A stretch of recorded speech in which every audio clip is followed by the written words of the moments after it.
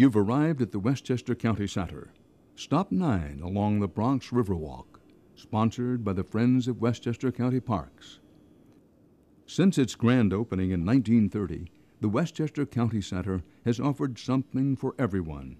From concerts featuring stars like Judy Garland, James Brown, and Kenny Rogers, to exciting boxing and basketball, featuring the world renowned Harlem Globetrotters, to the fun of the Royal Hanneford Circus. The center's been where the action is for top flight entertainment.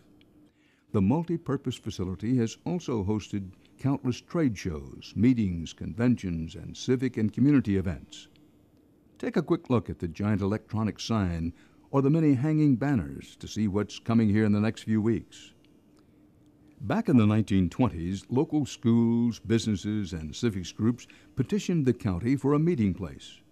Agnes Meyer, chairwoman of the Westchester Parks Commission, said the center would be like a colonial village green where the entire community could come together.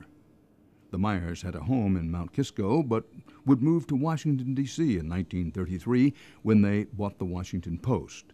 Their daughter, Katharine Graham, would become one of the most influential women in journalism as publisher of that newspaper.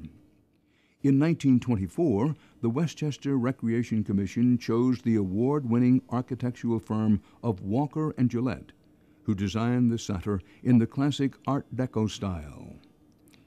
Six years and $785,000 later, the Westchester County Center debuted with a gala concert featuring the famous pianist and White Plains resident Percy Grainger, Metropolitan Opera tenor Edward Johnson, organist Palmer Christian, and more than 1,500 local choral group performers. The center underwent a $16 million facelift, which was completed in 1988. The newly renovated state of the art facility expanded to 5,000 seats. To celebrate, a grand reopening gala was held starring entertainer Liza Minnelli. Become a friend of Westchester County Parks to preserve the Bronx River Parkway Reservation for future generations.